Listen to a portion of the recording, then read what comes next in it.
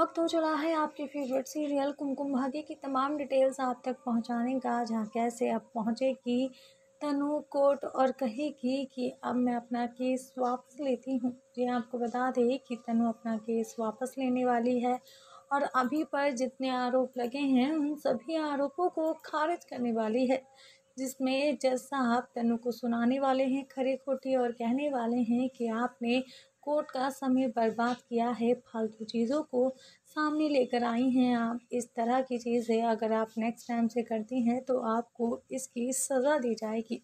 जी हाँ कोर्ट से वार्निंग मिलेगी तनु को और वहीं तनु अभी के साथ शादी करने को निकल पड़ेगी। लेकिन क्या होगा इससे आगे की डिटेल्स आप तक पहुँचा देंगे अपनी नेक्स्ट रिपोर्ट के ज़रिए।